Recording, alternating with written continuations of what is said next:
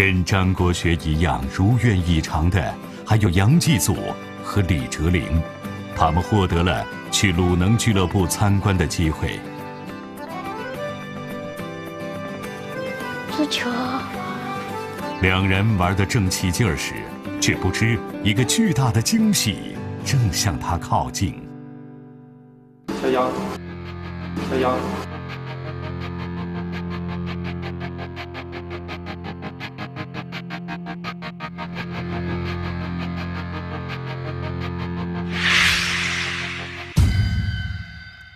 山东鲁能足球俱乐部，二十一号刘彬彬，欢迎刘彬彬登场领奖，这是新人的自豪，小伙子加油！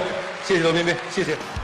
对这一次是左边路，刘彬彬好的，右边啊，刘彬彬是打门哦，收进了。刘彬彬是帮助鲁能在下半场比赛是进行第五十五分钟的时候反超了比分。得知来了两个小师弟。正在俱乐部参与训练的刘冰冰，特地过来和他们见上一面。你叫什么名字？我叫杨继祖。在北京踢球啊？嗯。家在哪呢？甘肃。多大了今年？是我今年十一岁。没想到现场见到了刘彬彬，长得可帅了。这俩都是鲁能未来。怎么了，嗯嗯嗯嗯，没怎么这么内向，我也一样，我也一样。来自大山里的足球娃，做梦都想不到能和国足偶像一起踢球，而让他更想不到的是，刘冰冰也有一段难忘的时光。